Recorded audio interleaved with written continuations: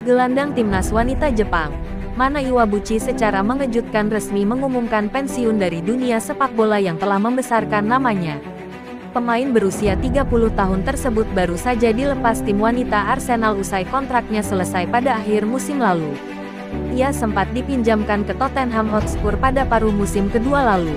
Melalui akun X-nya, ia mengucapkan terima kasih kepada semua pihak yang telah mendukung perjalanan karirnya selama ini saya telah mengambil keputusan untuk pensiun dari dunia sepak bola.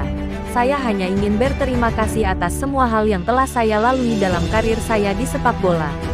Dukungan, dorongan semangat, kerjasama, atmosfer, kebahagiaan, kreativitas dan saya merasa sangat bersyukur memiliki kalian yang selalu berada bersama saya. Saya mencintai sepak bola. Saya mencintai semua orang yang saya temui di industri ini dan saya mencintai karir saya di sini. Terima kasih untuk semuanya. Iwabuchi mengawali karir persepakbolaannya di klub NTV Beleza selama lima tahun hingga 2012 sebelum memutuskan untuk mengarungi sepak bola Eropa bersama Hoffenheim selama dua tahun. Ia lalu melanjutkan karirnya bersama Bayern Munich pada 2014. Setelah tiga tahun berkarir di sepak bola Jerman, ia sempat kembali ke negeri Sakura untuk memperkuat INEC Kobe Leonesa selama tiga tahun sebelum bertolak kembali menuju sepak bola Eropa dan memperkuat Aston Villa, Arsenal dan Tottenham Hotspur selama tiga tahun berkarir di Inggris.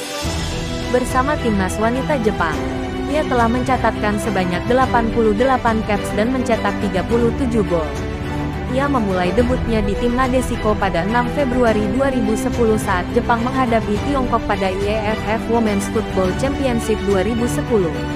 Gol perdananya bersama Jepang dilesakkannya lima hari kemudian saat melawan Tiongkok Taipei pada kompetisi yang sama.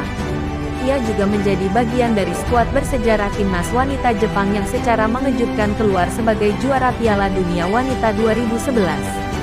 Selain menjadi juara dunia pada 2011 lalu, ia juga telah memenangkan sederet penghargaan seperti gelar juara Piala Asia Wanita 2018 dan medali emas cabur sepak bola wanita Asian Games Jakarta Palembang 2018 untuk tim Nadesiko. Dua kali gelar juara Frauen Bundesliga untuk Bayern Munich dan delapan gelar juara saat berseragam NTV Beleza. Sayangnya, akhir karirnya harus berakhir pilu setelah ia tidak diikut sertakan dalam skuad Nadesiko untuk Piala Dunia Wanita 2023 lalu.